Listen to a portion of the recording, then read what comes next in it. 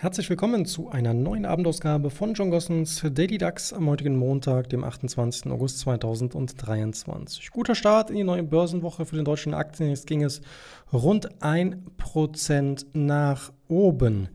Nichtsdestotrotz ist eben mit dieser derzeitigen Kurserholung noch lange kein Trendwechsel vorliegend. Dies gilt es durchaus immer wieder zu berücksichtigen. Wir haben auf dem Weg nach oben diverse Kurswiderstände. Bekannt ist auf jeden Fall der Bereich von 15,59 bis rund 16.000 Punkte. Aber wenn wir eben heute einmal den Fokus legen auf den sogenannten Stundenchart, fällt bereits hier einiges an Kurswiderständen in einem etwas niedrigeren Niveau bereits auf. Denn zum einen ist allein schon der Abwärtstrend im Stundenchart noch immer intakt und fungiert eben als erster stärkerer Kurswiderstand.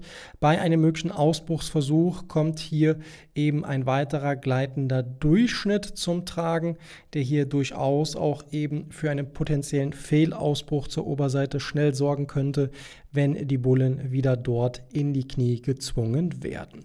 Also Vorsicht eben vor den derzeitigen kurzfristigen Widerständen im Stundenchart, als auch vor den übergeordneten Chartwiderständen. Vorerst ist und bleibt das nur als eine reine Kurserholung hier einzuordnen.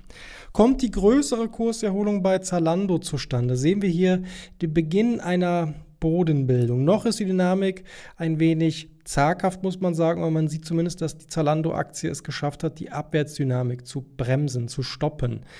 Die Aktie ist in Summe in einer breiten Bewegung unterwegs, hat also auch einen relativ großen Radius, in dem sich das Unternehmen bzw. dessen Papier hier bewegen könnte. Auf der Unterseite 24 Euro, auf der Oberseite rund 32 Euro. Das sind so ein bisschen die unteren als auch oberen Begrenzungsmarken, die es hier zu beachten gilt.